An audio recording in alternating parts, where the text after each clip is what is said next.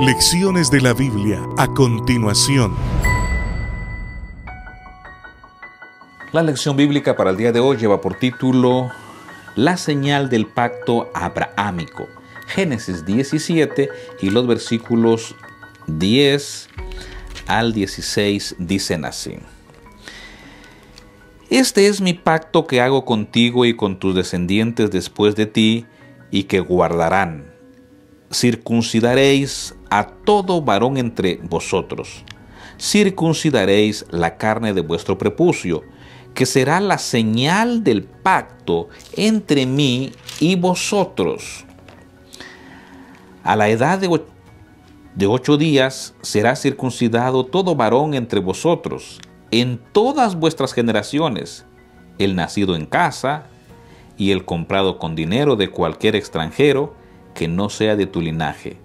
Debe ser circuncidado el nacido en tu casa y el comprado con dinero.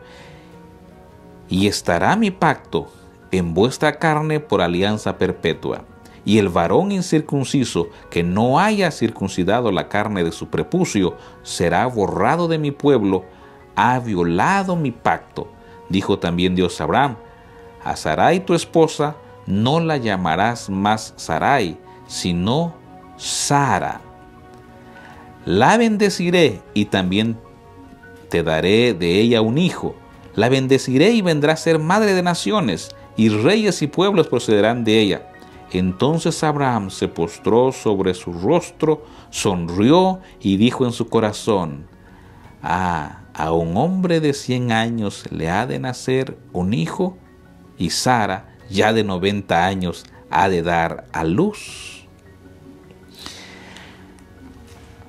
Dios siempre cumple sus promesas y garantiza sus pactos con una señal. En este caso, en este caso, Dios le dijo, va a haber una señal de que el pacto hecho se va a llevar a cabo. La circuncisión al octavo día de que una criatura nacía, si era varón, tenía que ser circuncidado. Si seguimos leyendo el capítulo, resulta que en el caso de Abraham cumplió. El mismo día llamó a toda su gente, a todos los hombres allí, y lo circuncidó. Y lo circuncidó. Llevó a cabo la instrucción. ¿Por qué? Porque Dios fue claro. Será una señal del pacto que he hecho contigo. Dios siempre pone señales para que podamos nosotros saber que estamos con un Dios que es verdadero, con un Dios que cumple, con un Dios que no se olvida de sus promesas. ¿Cómo lo hace con nosotros? Bueno, ha dejado un día de reposo, que según la Biblia es señal entre Dios y su pueblo. Me refiero al día de adoración, al día sábado.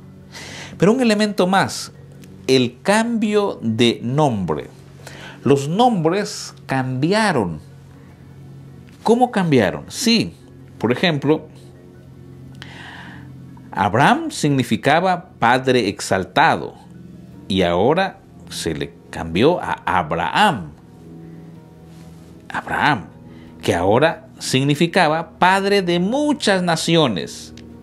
Y en el caso de este Sarai significaba mi princesa y ahora vino a ser Sara, que se refiere también a que iba a ser madre de muchas naciones fue cambiado el nombre, fue cambiada aquí la manera de llamar a estas personas. ¿Por qué? Porque los nombres significaban mucho en aquel tiempo. Y ahora de ser padres que no tenían hijos, pasaron a ser padres de muchedumbres y como dice la Biblia, de muchos reyes. Dios tiene una señal para su pueblo, vivamos esa señal. Y si Dios tiene que cambiar nuestro nombre, que tiene que ver con el carácter, dejémonos que Él haga los cambios. Él siempre hará cambios para bien. Él hará cambios para bendición. Él hará cambios para que su pueblo prospere. Que Dios te bendiga. Soy Obrero.